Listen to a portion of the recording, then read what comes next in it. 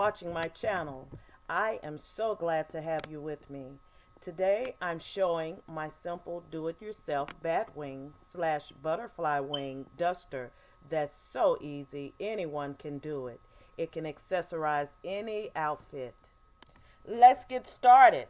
You'll want to start by laying your fabric on a flat surface, removing the selvage by cutting a straight line on both sides of your fabric.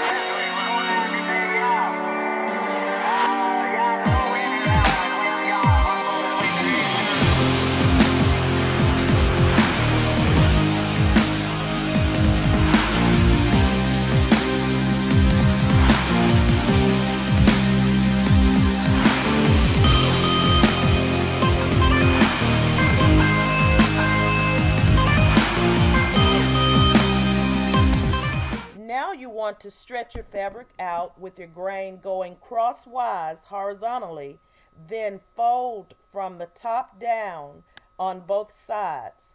Then measure 19 inches inward across from the outside of your folded piece as seen here.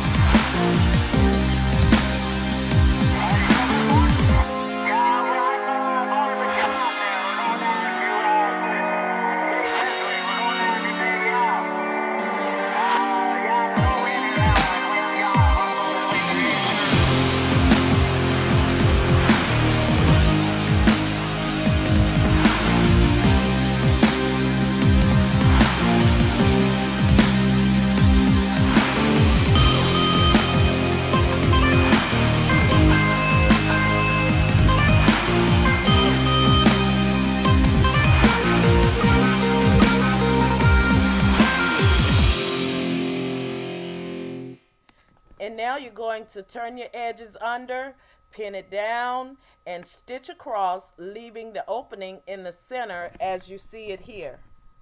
If you're wanting your duster to hang straight in the back instead of overlapping, then you'll want to measure 10 inches across instead of 19 inches across from the outer edge for your seam.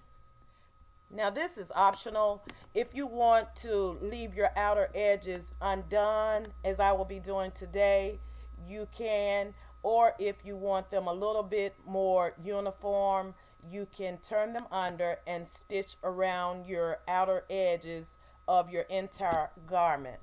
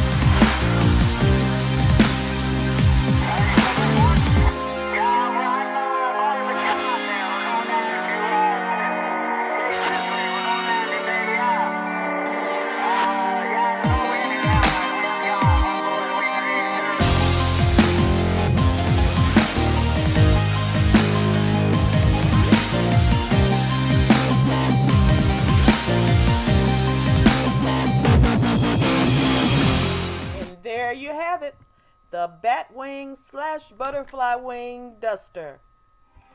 Hey, don't forget to subscribe to my channel for more DIYs like this one.